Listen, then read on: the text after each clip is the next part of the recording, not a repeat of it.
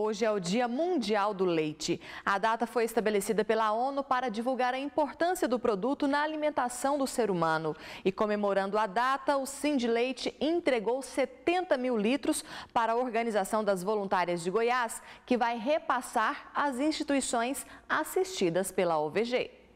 Vários caminhões foram necessários para trazer as doações. Ao todo, 70 mil litros de leite foram doados pelo Sind Leite, Sindicato da Indústria de Laticínios do Estado de Goiás, e vão beneficiar entidades cadastradas na Organização das Voluntárias de Goiás. É com apoio de empresários e no caso do Sind Leite, que já vem sido um apoio tradicional, isso tem realmente significado uma melhoria na qualidade da alimentação dessas, dessas pessoas atendidas pelas diversas entidades sociais. O leite arrecadado será destinado às mais de 600 entidades cadastradas na OVG. O governador Marconi Perillo e a presidente da OVG, a primeira-dama Valéria Perillo, receberam as doações de empresários do setor leiteiro.